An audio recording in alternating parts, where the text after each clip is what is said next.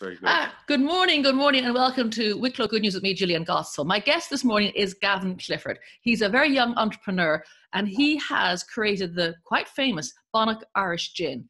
So, welcome to the show, Gavin.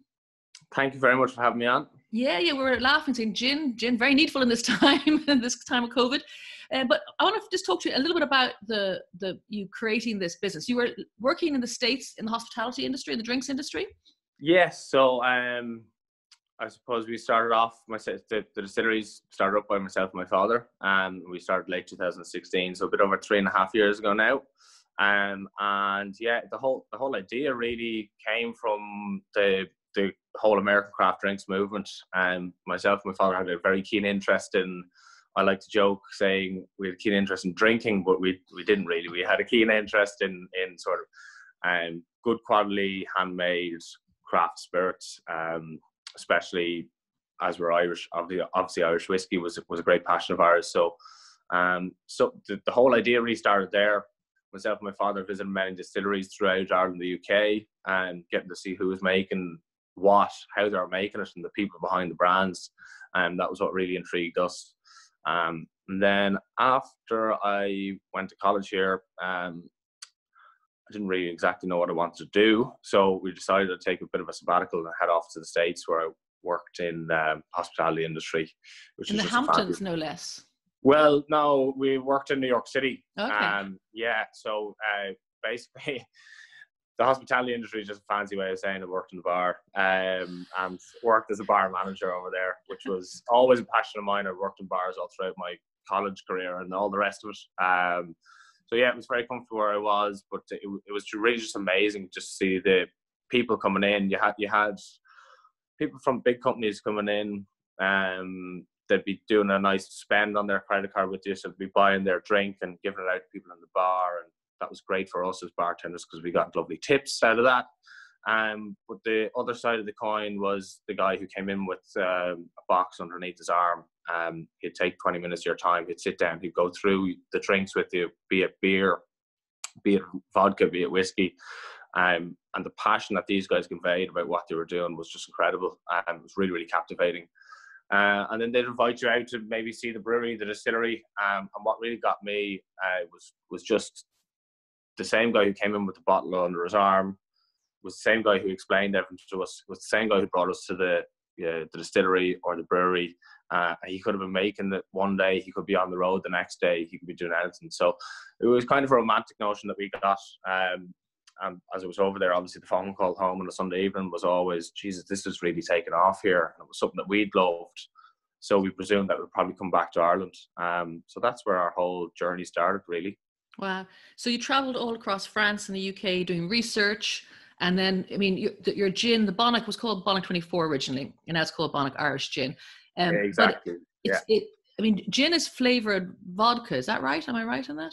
Um, you, fl- you'd, you'd, be almost you'd be almost right. Um, so just before th- this whole thing started, really, the the whole health crisis started. We were about to open up uh, what we're calling a gin school, um, where you're basically going to come down to our distillery. We'll give you a tour. We'll show you around. We'll give you the background of gin, and you'll actually make your own bottle of gin.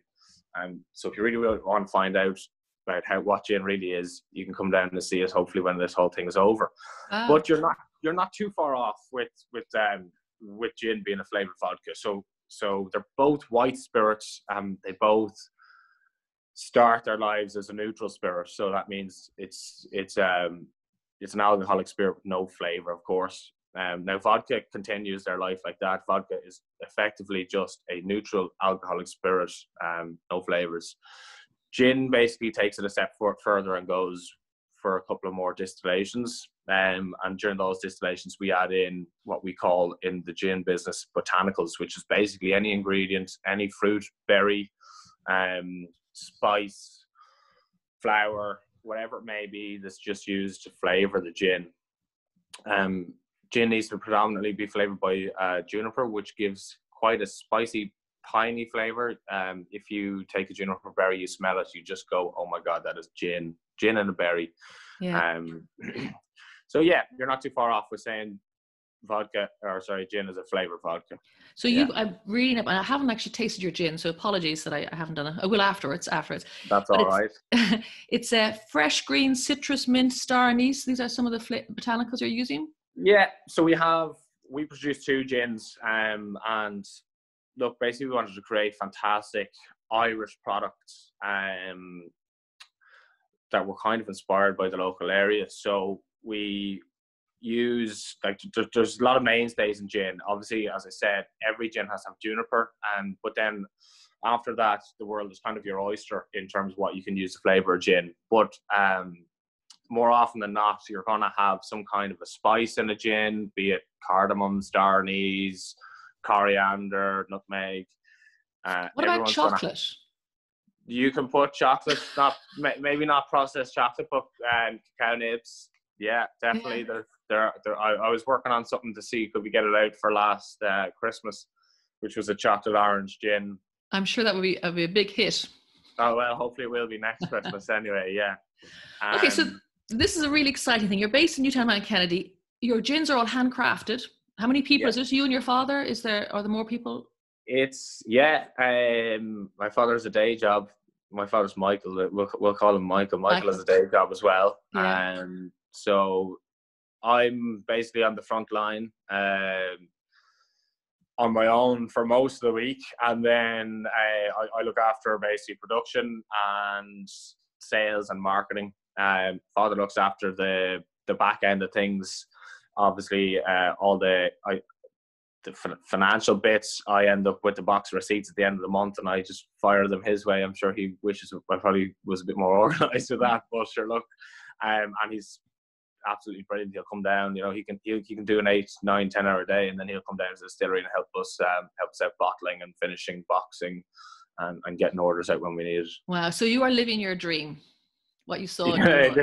You're it's you're doing maybe it. a bit more like a nightmare, but yeah, absolutely, yeah. Okay, so you're a young entrepreneur. You're doing this amazing product. Um, I, I'm assured my daughter works in, uh, well, she did, a student in, in Mickey Finn's and Red Cross. It's the favorite gin there. It's just giving you a plug for both both establishments there. But COVID 19 happened, and you guys spotted a gap in the market. And this is not a, a commercial gap, a need. So tell me about that.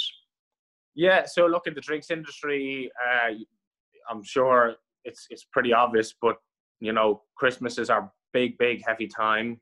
Um, lots of gifting and lots of people going out and Christmas parties and all that kind of stuff. And then January, um, January, February is always very, very quiet because people are broke and fed up and they're on their health buzz. So uh, we started off the year slow as we do every year, um, and every drinks company does. And then we were just gearing up for uh, Paddy's Day, uh, which is kind of the, the kickoff of the tour season again. And we were just about to launch, as I said, our gin school, and and we were quite literally uh, one week out from doing a big press drop and press release, and then this whole nightmare started kicking off. Um, and then, as I said, you know, slowly through, we still were sitting on a nice bit of stock that we would have had from from Christmas that we didn't go through. Um, that you'd always kind of have there in the distillery, and uh, uh, we got you know the lockdown came in, and uh, it just kind of slowly, slowly, slowly crept in, and we weren't seeing any anything happening, anything going on with our with the gin sales, um, where they'd normally be picking up, you know? Um, which was obviously a bit nerve wracking for ourselves. But then went into lockdown and we realized, look, all the bars are closed here. Uh, if the bars are closed, we're not selling any gin. You know, there's no outlets. Um, and we had a bit of stuff hanging. We had a bit of alcohol and, and some more raw ingredients hanging around. And uh, we saw online just that there, there was distilleries in the states starting up doing this. There was distilleries in the UK starting to do this. And wh- what is it? Tell people what what is it that you were Um, doing? And why couldn't we do it ourselves? So we look. We, we had the raw ingredients for hand sanitizer. Hand sanitizers. Yes. So um, we just said we, we, we, we better jump on this. You know, people were scared. Uh, and we had a little, as you said, there's a little gap in the market. We had a little bit of raw ingredients that we could do something to help the community. Um, just uh, obviously the healthcare workers in the front line doing their bit, and and we just kind of felt like we were either sitting around or we could we could put our our expertise to good use. So you put a few notes out on Facebook and Instagram, and what happened then? Uh, just, I was inundated. Uh, as as as I think I said before, we put my my my phone number somewhere on the internet, and I don't know how where it is, but I must try and get it down. My phone just started absolutely blown up. Um, social media accounts, both Facebook and Instagram, just the, they were filling up. The the account activity was going through the roof. Um, our website contact page was was off the hook, you know, and it was just quite, it, what really started me was it was just people who were ordinary people from around the area, and everybody had a story. Everybody is looking after somebody who's older. Everybody is looking after other people who they have no ties to, and they're looking after them as good of their heart. Um, people have businesses they wanted to keep open.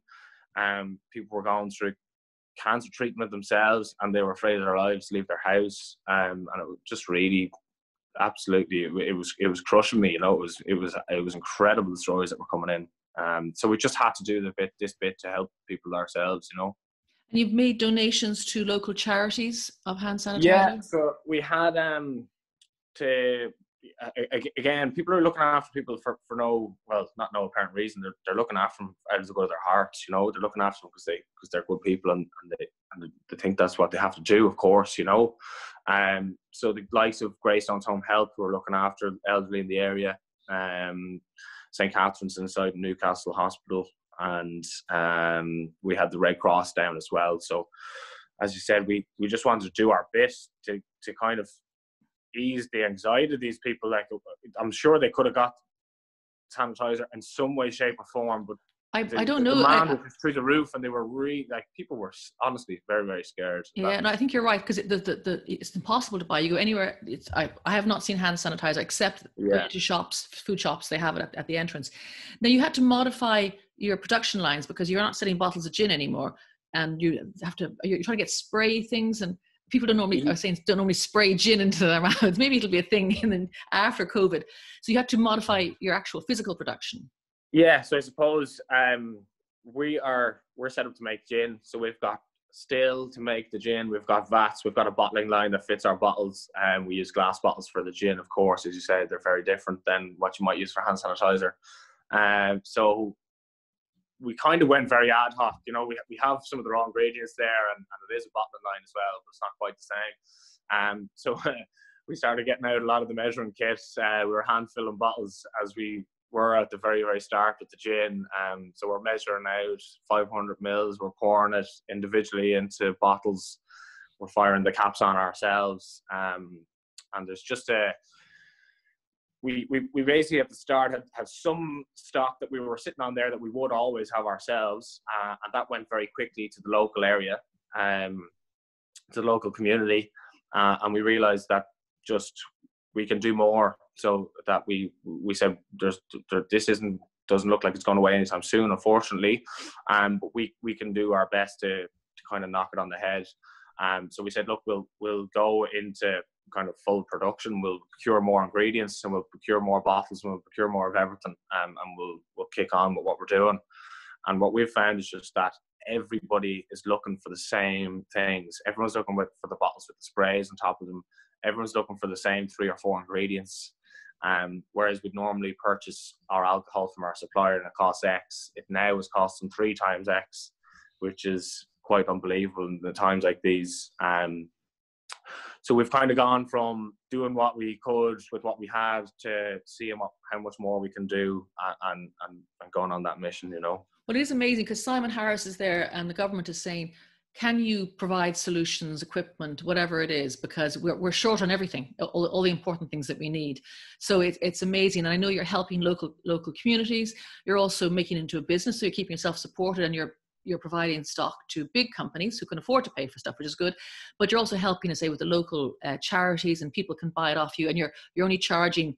You know, you're not gouging, which is a, a really important thing. It's not you're not going, oh, I can make a fortune here. It's it's uh, let's help the community.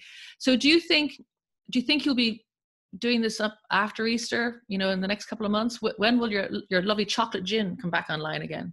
Well, I'd hope to be making gin sooner rather than later. I think everybody would be like to get back to normal. Um, and as we said at the start, that hopefully this is the good news. So we hopefully will be getting back to making gin in regular time. But um, that said, I think I think this is definitely going to change people's perceptions. Uh, I think this is going to change the world for uh, you know people's habits and people's nature. Um, so look, we'll, we'll see how it goes. Hopefully, hopefully we'll be we'll be cutting down on production as soon as ever possible. Um, but then it, it might just be something that in the in the long run there's going to be a greater demand for hand sanitizer. I think people are going to have a little bit of hand sanitizer in their pocket or in their handbag. I definitely know that I'll be keeping a bottle in my car um, and just kind of regularly using it. And, and people are going to be washing their hands more and stuff after this. There'll be probably a, a good bit less physical contact in the world after this. Um, but people are definitely going to be a lot more conscious. So look, maybe it is something that we inadvertently added a, a, a string to our bow, as they say.